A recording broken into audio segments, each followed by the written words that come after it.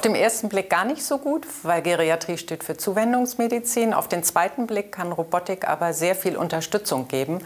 Gerade für Menschen, die sich nicht mehr so gut bewegen können, kann es unterstützen. Oder auch für Menschen, die vereinsamt sind, Hirnleistungsprobleme haben. Da gibt es viele Möglichkeiten, die in Zukunft immer mehr, denke ich, zum Patienten gelangen werden.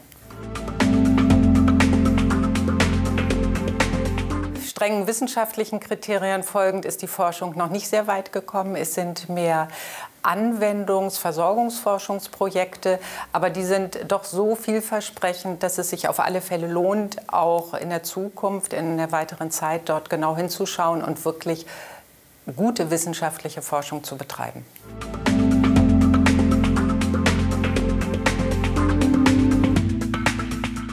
Ja, die ersten Einsätze sind gemacht. Also gerade Roboter können Visiten unterstützen, können auch eine schnelle fachärztlich, ein schnelles fachärztliches Hinzuziehen zum Patienten ermöglichen.